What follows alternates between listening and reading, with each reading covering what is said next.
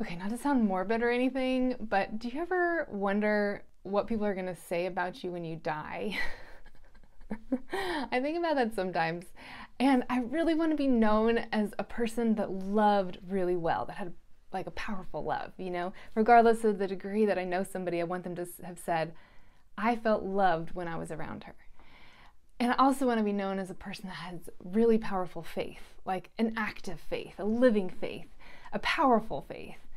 So that's something that I live towards each day. And as part of the inspiration of this image, well, not the morbid part, but I'll get into that. So, hey there, my name is Mari Cristante. I am the artist here at Fightsong Studio.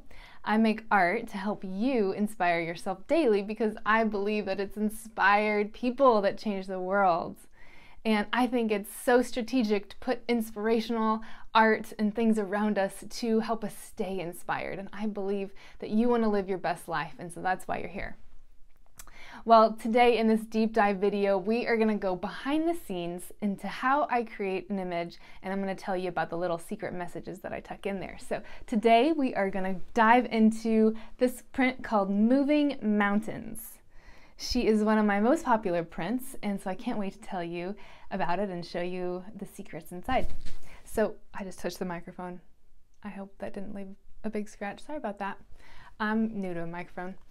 Anyways, let's go into Photoshop. Okay, welcome to Photoshop. You can see here, this is the final image, moving to mount, moving mountains. I'll start taking these layers off one by one and you can see all that was added in post-production.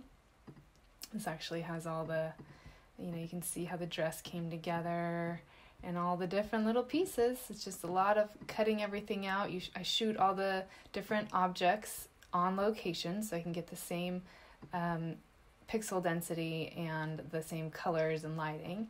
And then I um, bring it into Photoshop and edit it all there. And you can see it's just lots and lots of layers. Here's the sky that I added and some of the background. That's actually the image that we started with. You can see my dog running around there. And that was the megaphone that I used. and that's how I got the crumbly rock look, was just throwing uh, rocks and dust up in the air. So that's where we started, and this is where we finished. Well, welcome back. I hope you enjoyed that tour through the image. Now let's get into the meat.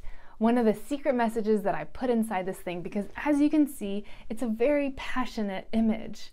It's almost like you can hear her saying, Mountain move! You know, we all face, I think we can all relate to this because we all face mountains some kind of meta metaphorical mountain, whether it's an obstacle, a challenge, a problem, an impossible situation, to whatever size, we all face mountains. And sometimes it's like mountain after mountain after mountain. we get through one and it's like, bam, another mountain. That's how I feel lately. so, knowing what I want to talk about today is knowing what to think and do when you do face a mountain. So Jesus wrote this really great scripture. This is one of my favorite stories. He says, If you have faith the size of a mustard seed, you will speak to this mountain and tell it to move, and nothing will be impossible for you.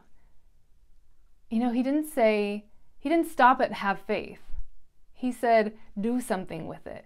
Faith is a very active, engaging, empowering thing. It's not just a thought or a belief. I mean, it is that, but it's more. You have to pair it with action. He says, you know, he didn't say, you know, just sit there and watch it move. He says, engage, engage your faith. Nothing will be impossible for you. He's telling you how to position yourself in front of a mountain.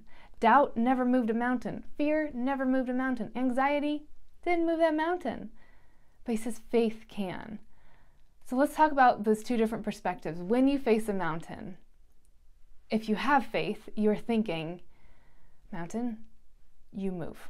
I can do this. I will get through this. This is not an impossible situation. Um, I know that strength will come as I go. I know that support will come as I go. I can get over this. When you ha- when you face your mountain without faith, you're thinking, "This big mountain. Other people haven't gotten through it. It's not going to stay. This won't pass. it's not meant to be climbed. You can't do it. Other people haven't done it. You're not enough, or I'm not enough. I'm not strong enough. I'm not smart enough. I don't have ability, strength, or time.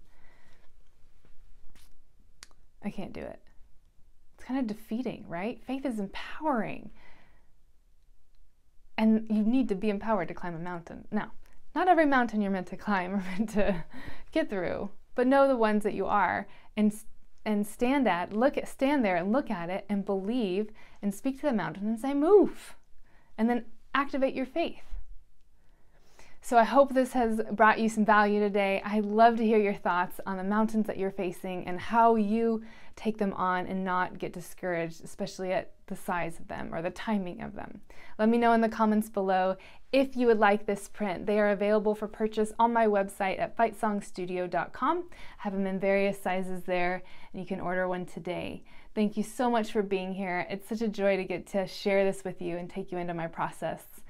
Um, just let me know if you have any questions, reach out for email, sign up for my newsletter. I send out weekly inspiration and we'll update you with my new artworks. Meanwhile, have an incredible day. Live inspired because it's inspired people that change the world. All right, see you next week.